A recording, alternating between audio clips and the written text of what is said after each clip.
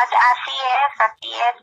Claro, pues te platico eh, rápidamente eh, sobre el estrés.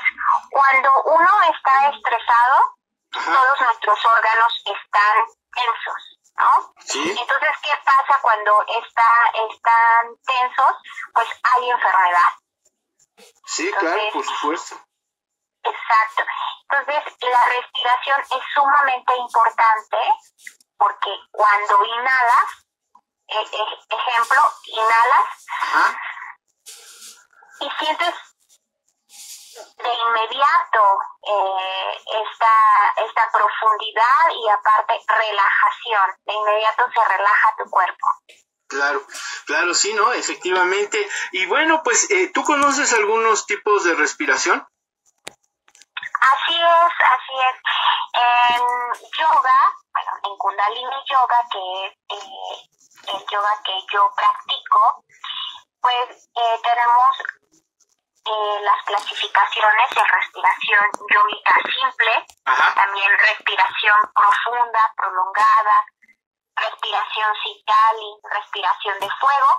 Sin embargo, hoy únicamente les voy a hablar de respiración yogica simple y la respiración profunda y prolongada. ¿Vale? Claro que sí, con todo gusto. Adelante, por favor. Sí. Bueno, cuando nosotros respiramos, sentimos la respiración realmente. ¿Tú, ¿Ustedes creen que, que tú sientes realmente la respiración día a día?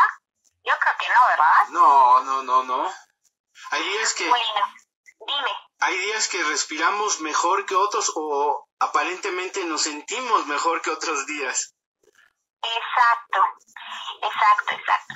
Cuando nosotros inhalamos de una manera correcta, lo puedes hacer en este momento si nos estás escuchando, de una manera lenta, profunda y consciente, estás liberando la tensión. Otra vez regresa la calma a la mente. ¿Ok? Sí. estás teniendo una conciencia y comprensión y a la vez relajación. Entonces, la respiración eh, yogica simple tiene tres partes. Una se fluye con suavidad.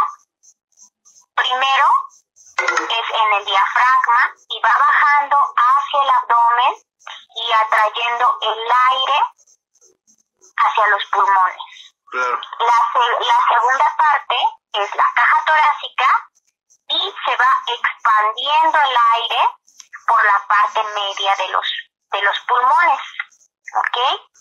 Y por último, pues se va expandiendo hacia los homóplatos en la parte superior del pecho y ahí es cuando comienza tu conciencia de tu respiración profunda. ¿Ok? Claro.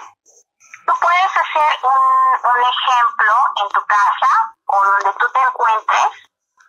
Vas a subir tus brazos hacia arriba. Ajá.